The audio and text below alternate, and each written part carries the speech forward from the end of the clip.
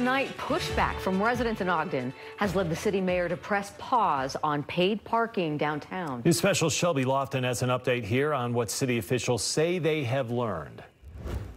At this week's city council meeting, the mayor announced he's putting any parking changes downtown on pause.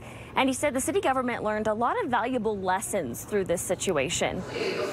All right, you guys. Let me. Uh... Several business owners left last week's heated paid parking meeting frustrated about what was coming to their block. It was like pitchforks and fire. After that, salon owner Thomas Hardy went before city council and the mayor to ask them to reconsider their plans. And we want to work together with the mayor and the city. The mayor responded with an apology. I'm sorry. Saying he would delay the program. I'm not comfortable pressing forward without having enough input.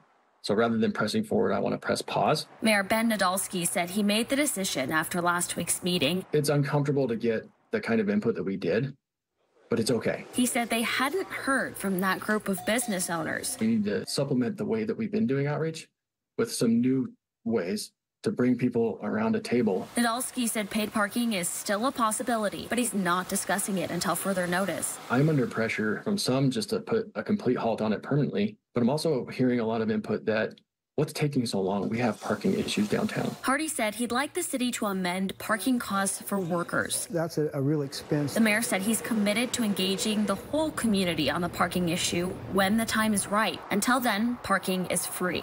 It's not great that people are upset, but it is really great that they're at the table now.